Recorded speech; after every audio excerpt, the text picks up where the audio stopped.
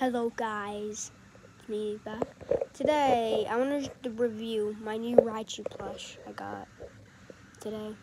I got it like like a few like like a few um minutes ago. You gotta see it. Here it is. It's kind of a um like has little beads. Similar to my first Pikachu plush I ever got. And also, it was my first. Also, this is my first Pokemon plush. I got it from Walmart, from like sixty dollars. and uh, this is my little Raichu. I got it for twenty five dollars off Amazon. And it came. And I waited for three days for this thing to come. I think it came from like a.